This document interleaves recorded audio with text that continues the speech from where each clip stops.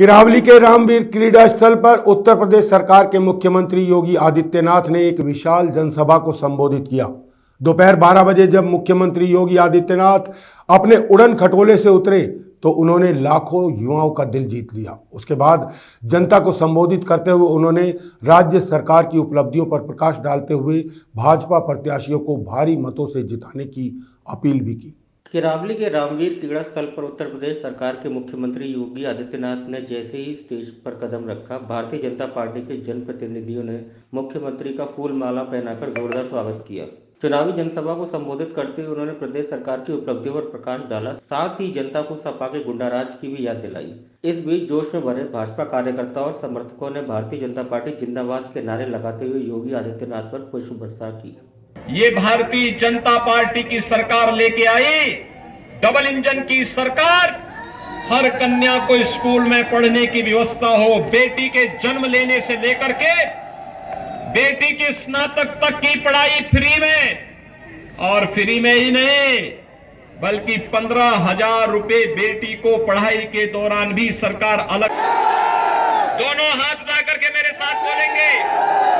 भारत माता की भारत माता की भारत माता की विशाल जनसभा को सफल बनाने के लिए पुलिस प्रशासन पूरी तरह से अलर्ट था। पुलिस की चप्पे चप्पे पर पैनी नज़र थी। मुख्यमंत्री योगी आदित्यनाथ ने विपक्षी पार्टियों पर जमकर निशाना साधा। उन्होंने बताया कि विपक्ष पूरी ताकत लगा रहा है, कोई गठबंधन कर रहा है तो कोई जनता को बहकाने में लगा हुआ है। लेकिन भारतीय जनता पार्टी की सरकार ने सारी विपक्षी पार्टियों की नाक में दम कर रखा है। मुख्यमंत्री योगी आदित्यनाथ ने फतेहपुर सीकरी विधानसभा क्षेत्र के जाने माने प्रत्याशी चौधरी बाबूलाल के लिए क्षेत्रीय जनता से वोट डालने की अपील करते हुए सभी प्रत्याशियों को भारी मतों से जिताने की अपील की। जी आपका बच्चा मेरा नाम शबाना खंडेलवाल है और मैं भारतीय जनता पार्टी की एक कार्यकर्ता हूँ। आज योगी जी का यहाँ प्रोग्राम है तहसील क्राफ्टी में और पार्टी के लिए क्या आप कहना चाहेंगे देखिए पार्टी के हम तो कहते हैं ना क्यों पढ़ते हो चक्कर में कोई नहीं है टक्कर में अब आदरणीय योगी जी का यहाँ आना आ, ये दर्शाता है आदरणीय नड्डा जी का घर घर जाके वोट मांगना और श्रीमती स्मृति ईरानी जी का घर घर जाकर वोट मांगना ये दर्शाता है कि भारतीय जनता पार्टी ज़मीनी कार्यकर्ताओं से कितनी जुड़ी है। उनके नज़दीक है उनके दिल से उनका रिश्ता है क्योंकि वहाँ होने के बावजूद राष्ट्रीय अध्यक्ष होने के बावजूद मुख्यमंत्री होने के बावजूद वो घर घर जाकर दस्तक दे रहे हैं वोट मांग रहे हैं। इसका मतलब कि वो ज़मीन से जुड़े हुए और जनता की एक सिर्फ़ एक मांग है कि फिर से योगी सरकार। और ये खूबी कमल के अंदर है। हमारा चुनाव चिन्ह कमल है और ये खूबी भी कमल में ही है कि कीचड़ में खिलने का हौसला भारतीय जनता पार्टी कितनी सीटों से वापसी कर रही है? अब की बार 300 पार ये तो हम पहले से बोल रहे हैं हर बार बोलते हैं। और आप देखिएगा कि रिकॉर्ड तोड़ जीत होगी क्योंकि आप कितना भी कर लें, हम अपने काम पे वोट मांग रहे हैं। हम आर्टिकल 370 पे वोट मांग रहे हैं जो निवेश के रास्ते खोले।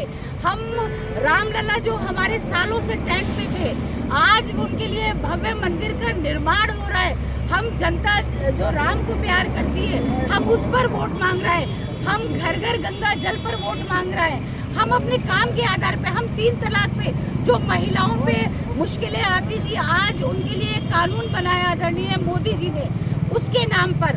तो हम विकास की बात कर रहे हैं। हम आज जो या तो अपराधी रेल में या तो जेल में है। उत्तर प्रदेश हमने खाली करवाया क्राइम मुक्त करवाया हम इस पे वोट मांगे एक अभी सभा का वायरल वीडियो हो रहा है योगी जी का कि हम सर्दी ला देंगे चुनाव के बाद में तो किस तरह की मतलब सर्दी क्या है? योगी जी ने? जी।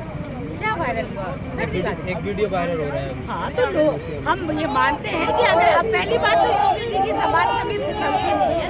मगर अगर उन्होंने कहा होगा ज़रूर प्रेस तोड़ मटोड़ के आरोपियों आरोपियों की गर्मी को शांत कर देंगे या और निश्चित कोई मैसेज निश्चित तौर पर विपक्ष की गर्मी दिमाग में अपराध की गर्मी अपराधियों की गर्मी और जो बच्चियों के साथ महिलाओं के साथ जो घृणात्मक अपराध होते हैं उनको हम दिमाग ठीक करेंगे उनको शांत करेंगे। जनसभा में शामिल होने आई एक भाजपा नेत्री ने बताया कि अगर देश को बचाना है तो उत्तर प्रदेश की आन बान बचानी है। इसलिए सब निडर होकर भारतीय जनता पार्टी को वोट दें। प्रातः दर्पण न्यूज़ के लिए अचनेरा से ईशु चेनानी की रिपोर्ट।